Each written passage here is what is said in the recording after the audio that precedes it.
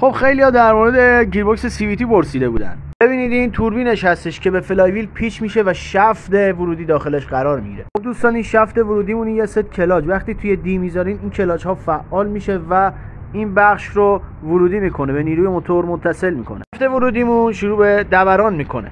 بعد از اینکه حرکت می‌کنید گاز که میدین این فولی بسته میشه و فولی ورودی باز میشه و باعث میشه که ماشین راه بره و دور بگیره.